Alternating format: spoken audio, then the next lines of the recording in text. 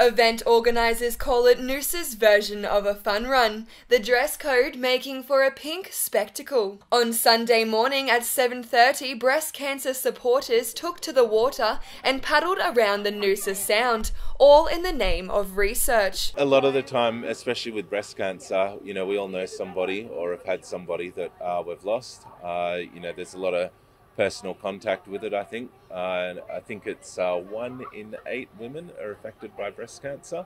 So, you know, it's pretty hard not to experience it throughout your life.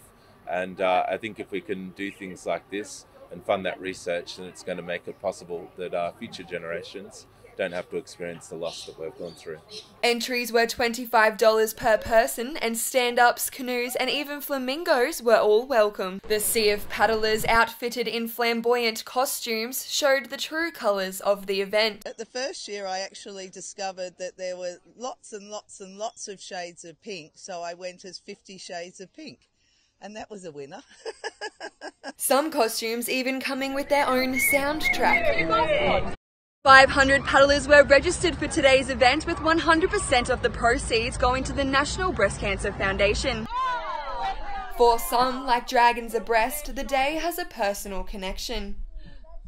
We're all breast cancer survivors, and this day is a very special day for us all because um, it's um, supporting breast cancer awareness and um, it's nice to get the community involved as well.